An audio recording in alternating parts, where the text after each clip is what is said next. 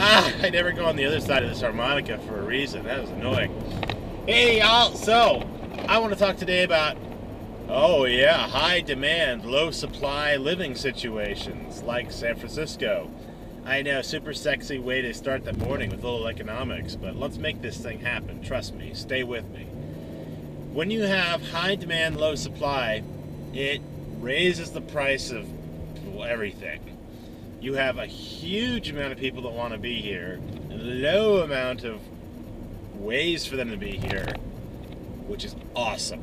It is spectacular. It is the best thing ever. Now, why would I say that? I'm not saying it because I'm some kind of elitist asshole. I'm simply saying is that it raises the barrier to entry, which is nice. Why is it nice? Well, it makes sure every single person that wants to be in an area, well, like San Francisco, wants to be here. You freaking yearn to. You are Mr. I love San Francisco. Well, not in such a manner, but you get what I'm talking about. And why is that good? You have a greater abundance of awesome when you have those kind of people around.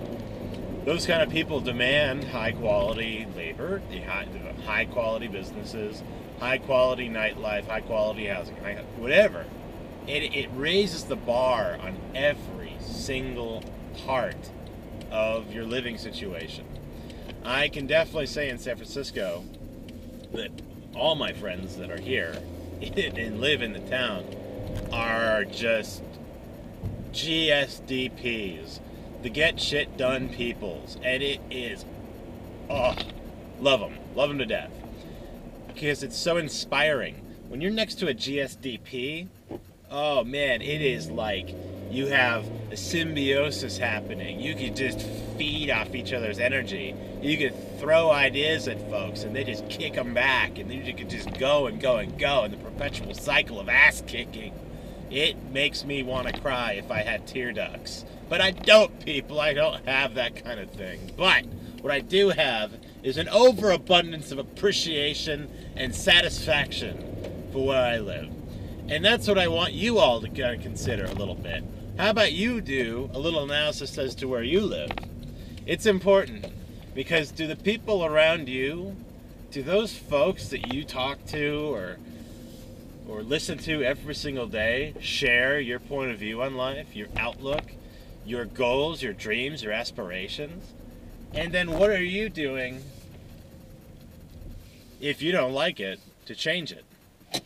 That's what I want you all to think about. That's what I want you all to be enjoying the fact that you, you have the power to decide who you're with and where you are at all times. So are you facilitating the best you can be? Are you facilitating the area that supports you the best? Let me know below in the comments what you think. But I guarantee you all have a little thinking to do. So with that, lots of love and appreciation. Thank you so much. I'm only like 40 something away from a thousand subs. So I'm trying to come up with a hell of an idea for a thousand. But whew, Lord help me. I will figure out something interesting. Trust me. With that, you guys, thank you so much and have a wonderful Tuesday. I will talk to you all later.